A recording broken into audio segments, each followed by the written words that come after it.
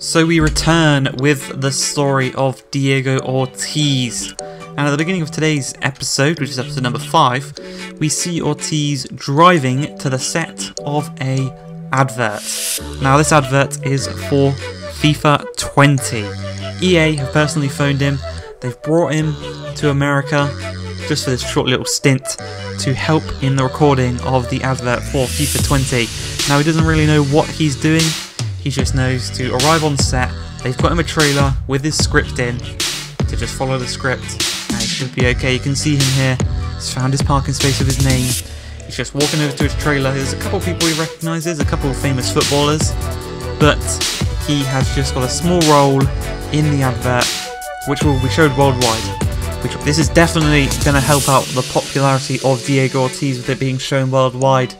Clubs will see it, people will see it, they'll start talking about Ortiz, helping his value go up and his popularity. But you can see there the script said property of EA. It was highly confidential and not even Ortiz knew. He had to speak to some of the crew members about what he was gonna do.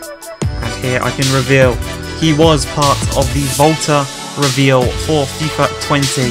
Just mugging off some extra in the pitch. That's definitely him.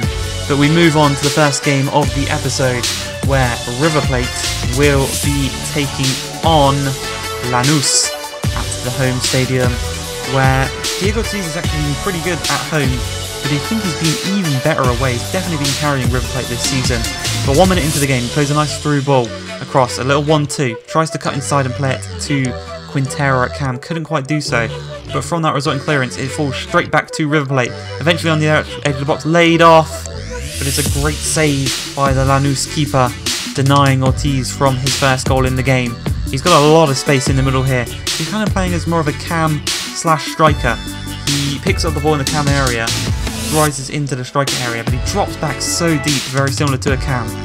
Ortiz's passing accuracy this season has been brilliant, but 13 minutes in, he receives the ball quite far out, played across to Pratto. That's a very poor shot by him. He is not that good, especially in comparison to Ortiz's stats this season. But Ortiz picks up the ball on the halfway line, a little 1-2 with Quintero. A little play back to him. He's just going to play around with a midfield partner. The right back charging up the field now, looking to find someone in the box, but no one's really making any movement apart from Ortiz. Pratto's out wide. He, you'd prefer him in the middle, and Ortiz out wide, but Ortiz is calling for the ball. He let it lay for his legs, and he strikes it from the edge of the box. Ortiz picks up the assist and River Plate go 1 0 up 30 minutes into the game. 15 key passes for Ortiz in his career so far, not too bad. And he has, he has got a lot of assists. His goal contributions this season so far, in terms of goals scored and assisted, I think he is about even with games played, which is really, really good for a first season in professional football. There, he could have had another assist as he played the ball to Pratto. Unfortunately, he put it just wide. But into the second half, Lanús are looking to attack straight from their kickoff as the striker, nice little fake shot passes man, he finds the cam, playing up to number 7 and a lovely strike. Beats the River Plate keeper and what was I talking about in the previous episode? Some of these River Plate players just aren't good enough, but Ortiz here, he's going to look to get it right back with a lovely little roulette and he strikes one across the goalkeeper and it's a misery compiler, an instant reply. And that's 10 out of 10 players beat using skill moves for Ortiz, but he makes the score 2-1, which is the more important matter. And he looks to add to that lead as he plays the ball forward to his teammate. Little ball receives the ball on the edge of the D, little step overs, plays it through to Perez, and he strikes it and it is wide of the post unfortunately into the final 15 minutes. Ortiz plays the ball and it finds its way to the edge of the box back to him where he looks to make the run. Again, some players on this team ignore Ortiz's runs and they would have a lot more goals and they would be a lot higher up the table if they did actually listen to him there. A lovely dipping shot, but it was just slightly too high there and it did go over. Keeper didn't even get a touch on it unfortunately, but Ortiz here, making a run, plays it to his strike partner, back to the cam, back to Ortiz, edge of box, can't turn and make the pass, and then the eventual shot by his strike partner was very easily caught by the keeper. Here, plays a 1-2 with his strike partner. Again, a poor touch there by Ortiz. Lets it fall right to the defender, but the last chance of the game. He plays through the cam, Little 1-2. He's out wide. He's got three men in the middle to choose from. Decides to go at his own. Nice sort of ball roll past the striker. Strikes it. And the keeper palms it away. And the final score is going to be a 2-1 victory for River Plate with Diego Ortiz getting one goal and one assist. And a 9.4 rating, picking up the Man of the Match award. Really good performance there for him. As I said, passing accuracy brilliant this season with a 90% passing accuracy and one key chance which was converted into a goal brilliantly by his teammate as we move into the next game where we will be taking on Argentinos Juniors away from home. And what we said that he has been just as good away from home as at home. Well, he plays the ball through to Pratto. Pratto's not the quickest, so he plays it right back to Ortiz, and he's one on one with a keeper. He tries to go for the near post, but the keeper can easily fall down and save that one, keeping the score at nil-nil. It was very early on there, but does well by the keeper then to have such great reactions early on into the match. But on the edge of the box, Ortiz plays the ball through to his teammate, hits the crossbar, and Pratto can tuck that one home to make it 1 0. 26 minutes into this game, Ortiz receives the ball just past half time, plays through to Pratto, Pratto through to the cam in Quintero. He maybe tried to play it there back across to Ortiz, but he decided to go for the shot, which was easily caught by the keeper. And you can see here, Ortiz didn't have the best game in terms of attacking, no goals, but he did have two shots. But he did have a 96% passing accuracy with two key passes, one of which hits the crossbar and resulted in the Pratto goal, the other of which was just wide. But whilst we were at the movie set with EA, they actually told us to head by their headquarters because they had some special news to tell us. So later in the day, after recording the advert for Volta for FIFA 20, we went to EA's headquarters, which is up in Canada, not too far from where we recorded the advert, but we did have to travel back to Argentina later in the day for the final game of the episode. But it was brilliant news that we received from EA. They had told us that we had won the Player of the Month award for November after putting in a brilliant, brilliant performances. A couple of goals, a couple of assists in the league. Really, really good performances. And it's a definitely deserved, deserved award by us there. But we do move into the third and final game of the episode against Aldosivi. They've got a fish on their badge. But nine minutes into the game, again Ortiz calls for the ball and he goes for a Van Basten-esque volley at the near post. Obviously Van Basten's went in. I think it was from Van Basten for Holland. I think he scored the volley at the tight angle. I think it's... I think, don't quote me on that, but I think it is Van Basten. But 18 minutes in to the game, the opposition play a brilliant ball through and he just on keeps his standing foot down and he swings his leg back, lets the ball roll past, and he just strikes it past the keeper at the near post.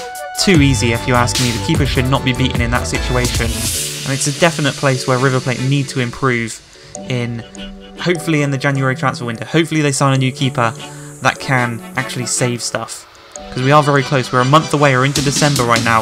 But a nice ball there to the cam, who then lays it off to Pratto, who tucks it home and he makes it 1-1 in this game.